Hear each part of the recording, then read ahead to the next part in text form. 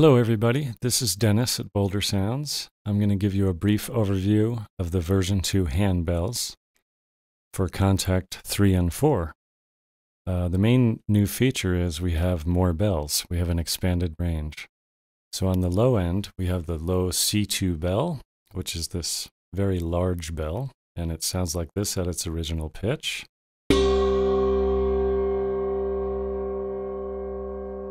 And this is a very long sample. If you hold the key down, it'll go a good 30 seconds before uh, the sample fades out. And then in that same octave, we have the G2 bell, and that one sounds like this.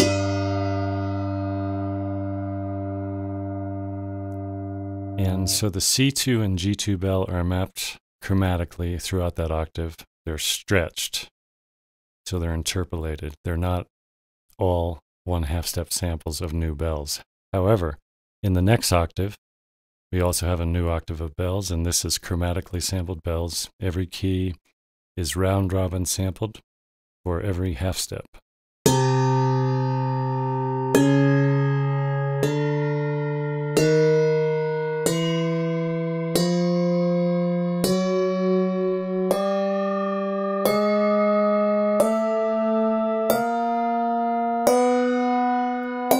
Now that C that I just played, that is where the version 1 handbells left off. So we have these lower two octaves have now been filled out. And these low bells, I have to tell you, they're absolutely gorgeous sounding. And they've been sampled with many different hits, with uh, chopsticks, with soft mallet, hard mallets, hit on the table with mallets. I've also created some singing bells by running a wood dowel along the rim and making the bells sing, which is a really nice ethereal sound. And we also have martellato lifts and regular mart articulations added throughout the entire six octaves of range, which was not available in version 1. So here's a little bit of just what the low bells sound like. I'm just going to be noodling, so don't expect anything wonderful.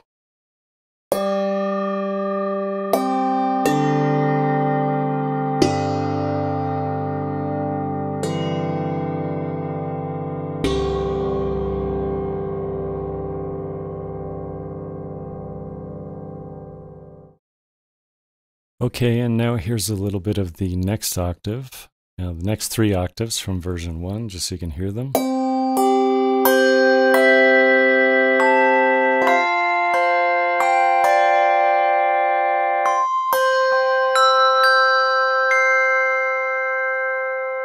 And now this next octave is a new octave in version 2. This is C7 through C8 chromatically sampled. They're very high bells.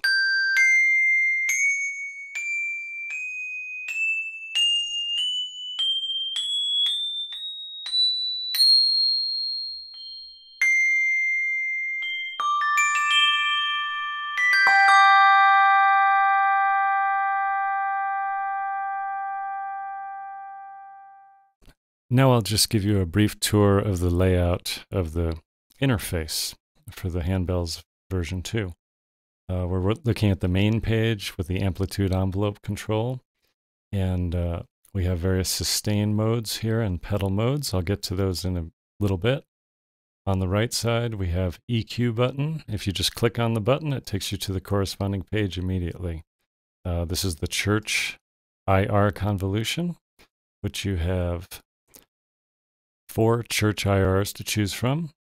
And then you have various controls as the size of the church, uh, the amount of the wet dry control.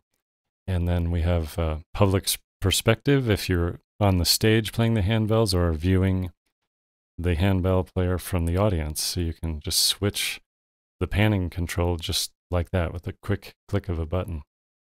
Uh, we have reverb control as well. If you don't want to use the IR convolutions, you want to be a little more CPU conservative, you can use that.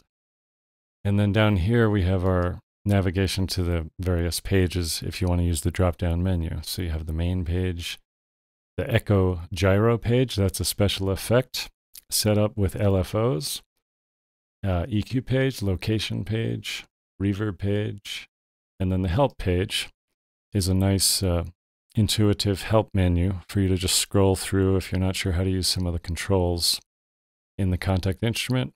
Everything is explained for you right here. You don't have to refer to a separate PDF. Another very nice feature built into the Kontakt script is preset save and recall.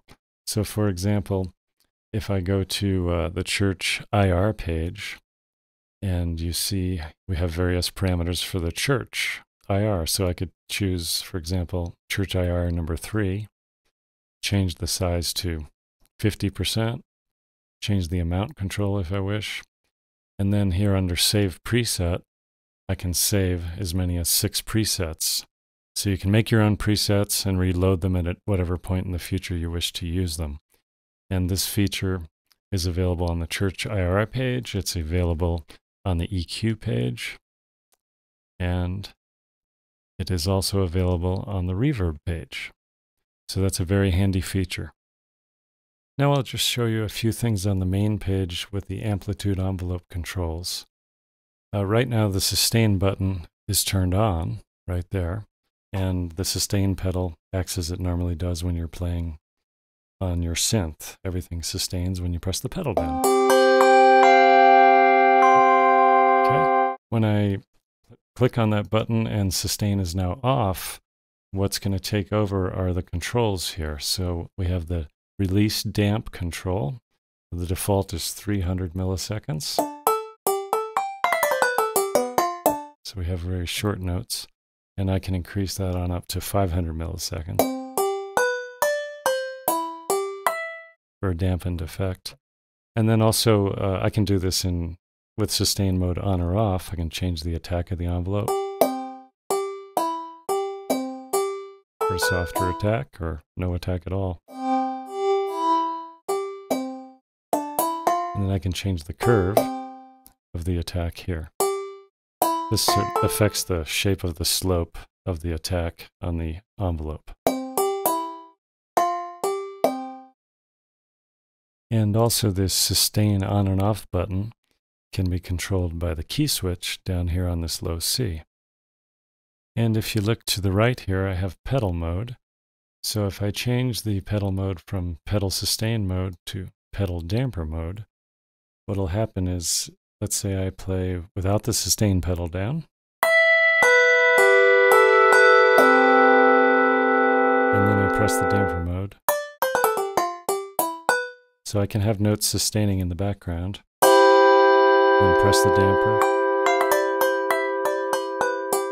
And have shorter staccato notes in front of it. And I can affect the parameters of those notes with the amplitude envelope controls that you see in front of you here.